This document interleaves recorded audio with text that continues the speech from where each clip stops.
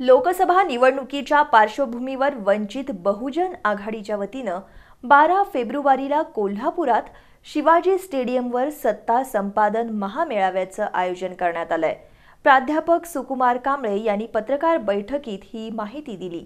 M I एमचे खासदार अजदुद्दीन ओवेसी हे मेळाव्याला उपस्थित राहणार आहेत.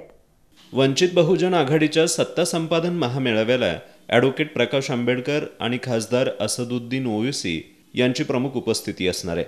याशिवाय माजी आमदार लक्ष्मण माने इम्तियाज जलील वारिस पठाण हरिभाऊ भदे डॉक्टर दशरथ मांडे हेही या महामेळाव्यात मार्गदर्शन करणार आहेत. लोकसभा निवडणुकीच्या पार्श्वभूमीवर होणारा हा मेळावा लक्षणीय ठरणार असल्याचं प्राध्यापक सुकुमार कांबळे यांनी सांगितलं. वंचित बहुजन आघाडीच्या वतीनं काँग्रेस राष्ट्रवादी काँग्रेस आघाडीकडे लोकसभेच्या बारा जागांची मागणी करण्यात आली आहे. त्यासंबंधी तीस जानेवारीपर्यंत सकारात्मक उत्तर आलं नाही. तर आघाडीच्या वतीनं लोकसभेच्या राज्यातील सर्व जागा लढवण्याचा मानस असून तीन फेब्रुवारीला उमेदवारांची यादी जाहीर करण्यात येणार असल्याचं कांबळे यांनी सांगितलं.